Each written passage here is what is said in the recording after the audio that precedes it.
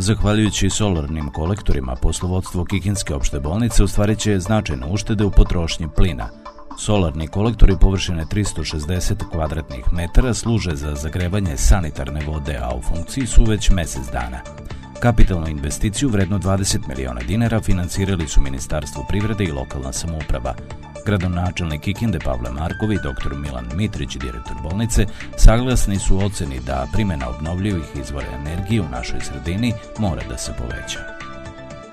Kao posebno značaj za ovaj projekat mogu da istaknem i onu lepšu stranu, zelenu stranu svega ovoga. Dakle, radi se o obnovljivim izvorima energije, E, nešto na čemu mi insistiramo, nešto na čemu će se nadamo i Kikida biti u budućnosti prepoznata.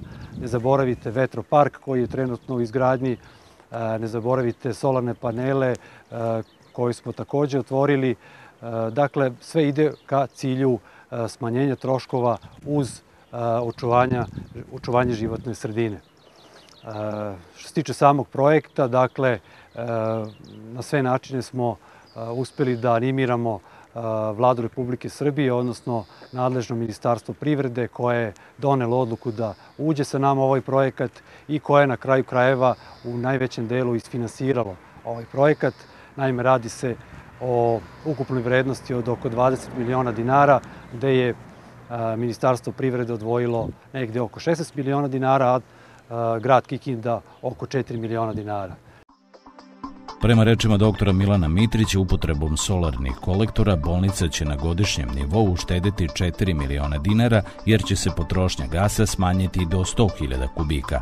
To znači da će se ova investicija u najboljem slučaju otplatiti za 5 godina.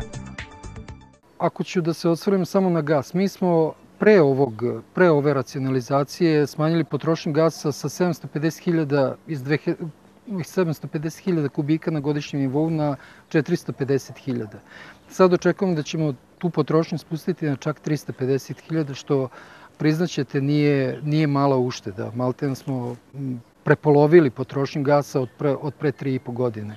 Međutim, u bolnicu su naravno ušle, ušle velike i tehnološke, pre svega investicije od strane našeg ostivača Pokrenjskog sekretarijata za zdravstvo, i sada od strane znači, Ministarstva privrede Republike Srbije i u prethodnih godinama od strane lokalne samouprave po čemu smo možda čak i specifični, jer lokalna samouprava nije, nije u obavezi da finansira bolnicu, ona je to činila i svih prethodnih godina i činila i ove i nadam se da će to biti tako i u narednim godinama.